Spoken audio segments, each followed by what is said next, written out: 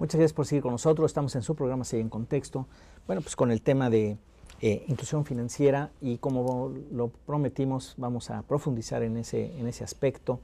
Eh, y tenemos eh, de nueva cuenta a, pues, a nuestros invitados, el doctor Gustavo del Ángel, quien es profesor investigador del CIDE. Muchas gracias, Gustavo, por, por estar con nosotros. Muchas gracias, Enrique. Buenas noches a todos. Y Enrique Díaz Infante, quien es director del área de finanzas, financiero del sector, del sector financiero en el SEI. Muchísimas gracias, Enrique.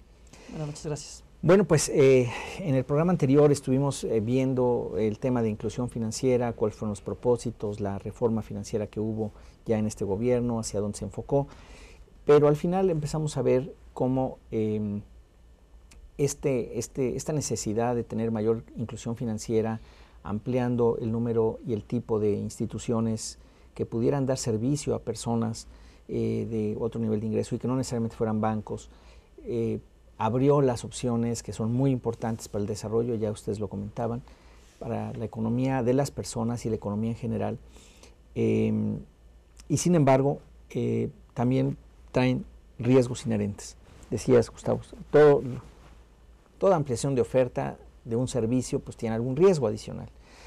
Eh, y bueno, pues este se vio como, eh, quizás valdría la pena retomar esa parte de los riesgos, de ampliación de la oferta y la parte de los riesgos, cómo los podríamos como diferenciar, para entonces entrar eh, al caso particular de FICREA, que, ha sonado mucho, pero también a otras probaditas que hemos tenido de problemas en el sector financiero y que en su conjunto, pues no es por levantar focos amarillos, pero sí hay una cierta preocupación de que pudiera convertirse en un problema más amplio.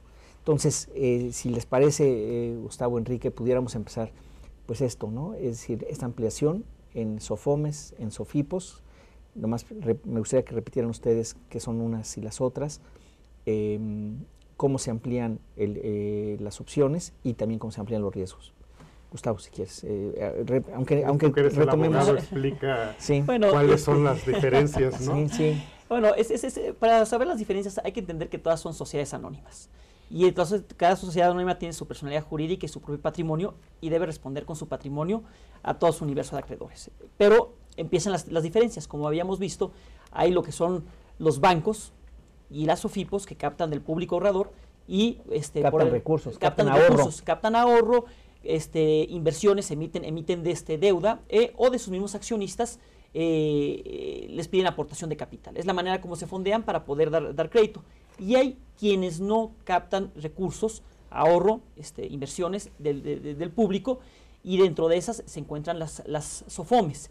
Eh, y, muchas, y muchas otras este, eh, entidades. ¿no? Entonces, esa es la, mayor diferencia y eso es lo que eh, la regulación en un momento dado trata de, proteger al público ahorrador, que en un momento dado, si una institución incumple, pues que le puedan pagar al público ahorrador y que esa institución que incumple en sus pagos no contagie a las, a las, a las demás y se, y se, transforme un problema de, eh, financiero en un problema en toda la economía y se vaya a la economía real. Entonces, eso es lo que trata de, cuidar eh, la, la, regulación.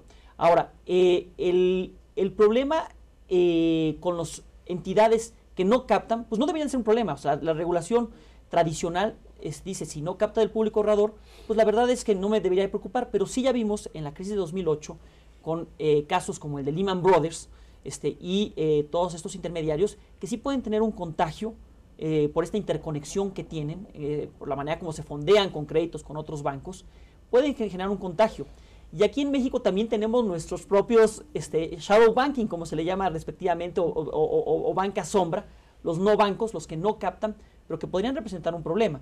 Este, y están las, las OFOMES. Y en el sector vivienda ya vimos el, caso de eh, hipotecaria su casita, eh, crédito y casa, metro financiera. Ahora, estos bancos, este, o, más bien esas entidades financieras, la manera como se resolvieron fueron la manera adecuada. O sea, no hubo rescates, no hubo rescates por parte de las autoridades y este, se llevaron a una liquidación y se pagaron con su patrimonio. Y los, Perdón, eh, déjame detenerte ahí porque si no, este, nos estamos diciendo como muchos temas. Nomás para, para redondear. Estos son los tipos de instituciones el tipo de riesgos que traen, eh, Gustavo, para poder después irnos ya concretamente a sus tipos y ver cómo se resolvieron bien en otros casos y en otros pues están las cosas un poco diferentes. Yo creo que es cuando podríamos verlo. Sí, Si me permites, para ir como tejiendo, digamos, el, el, argumento. Entonces, eh, estos, estos riesgos, eh, Gustavo, ¿cómo, cómo crecen? Eh, son, tú distinguías en el otro programa problemas de solvencia moral, problemas de supervisión, de regulación. ¿dónde, ¿Dónde están aquí estos riesgos? Sí, hay, a ver, lo que platicamos en el capítulo anterior. Toda ampliación de un sistema financiero, toda generación de mayor intermediarios, todo incremento, digamos, en la cartera de crédito de una industria financiera, de, un conjunto de bancos, de, en este caso Sofipos o FOMES, pues, lleva riesgos inherentes, ¿no? porque obviamente estás prestando más, estás tomando más riesgos. ¿no? ¿Quiénes asimilan esos riesgos? Bueno, pues los asimilan dependiendo qué tipo de institución, los socios, o sea, la institución en sí, pero pues de alguna forma también representa un riesgo para los este, ahorradores, por eso existen estos mecanismos de seguro de depósito. Eh, ¿Cómo le haces o qué tienes que hacer para prevenir esos riesgos? Bueno, pues para prevenir esos riesgos tienes instrumentos como la supervisión que ejercen las autoridades. Ahora, ¿es suficiente la supervisión para evitar problemas como el de FICREA, no, no es suficiente.